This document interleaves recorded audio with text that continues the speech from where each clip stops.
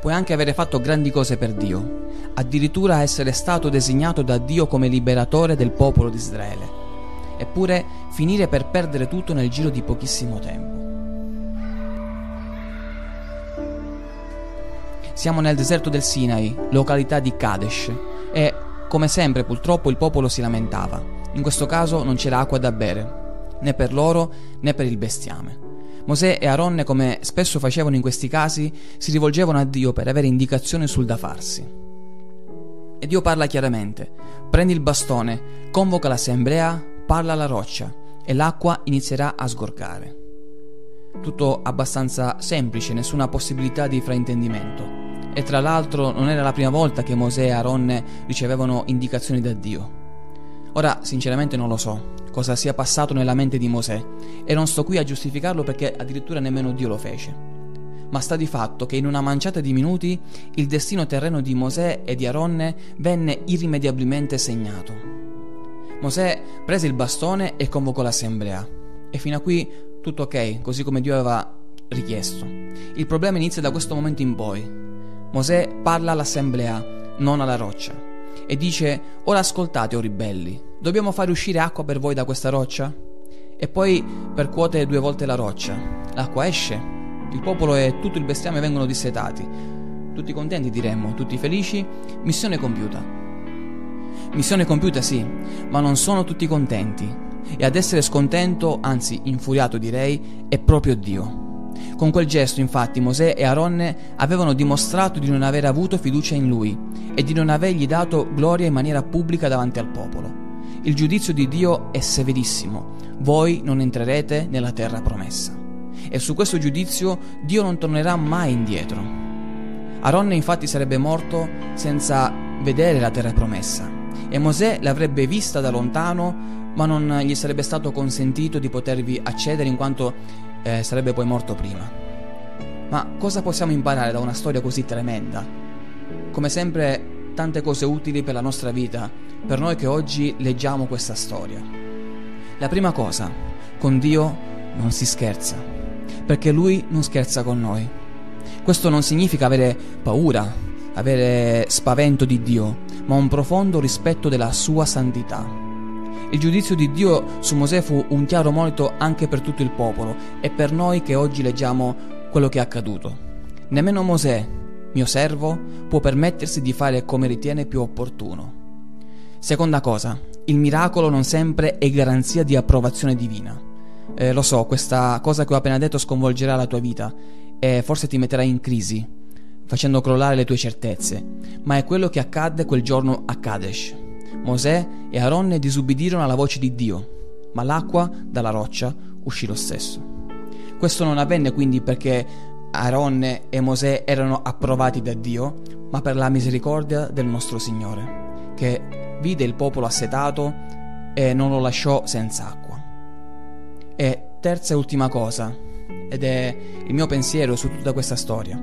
Dico mio perché la Bibbia non ci parla chiaramente di quello del motivo per il quale eh, Dio continuò nel suo giudizio verso Mosè e Aaron.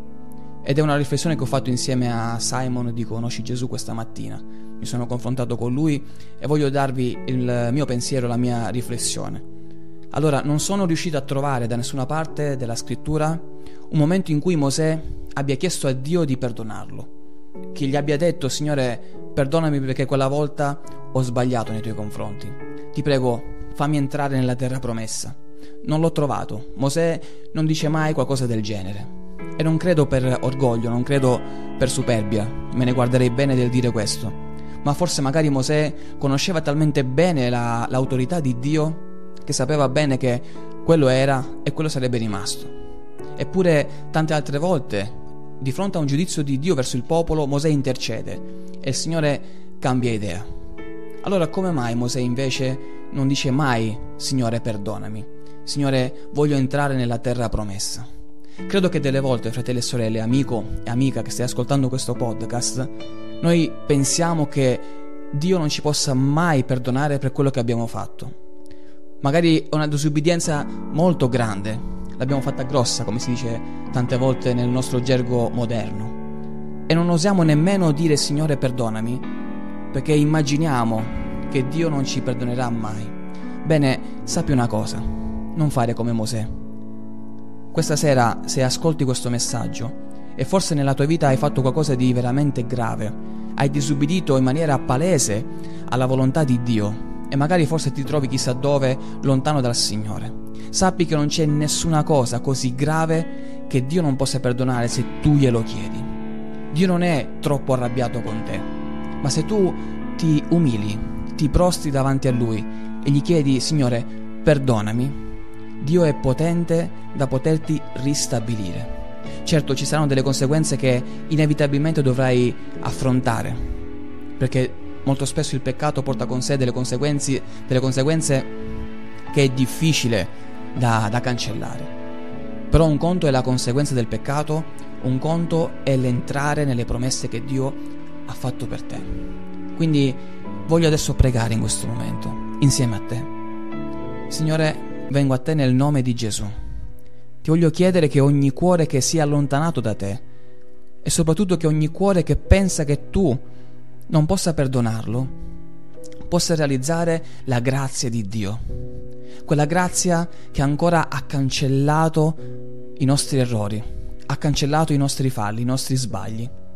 E per quella grazia, Signore, questa sera veniamo a te e vengo a te nel nome di Gesù e ti chiedo, fa che ogni cuore che crede che tu non lo possa perdonare possa realizzare invece il tuo perdono, che non possa più stare lontano da te, ma che possa entrare nelle tue promesse, perché so bene, Signore, che quando qualcuno viene davanti a te, si umilia, prega e cerca la tua faccia, sì, Signore, tu perdonerai dal cielo.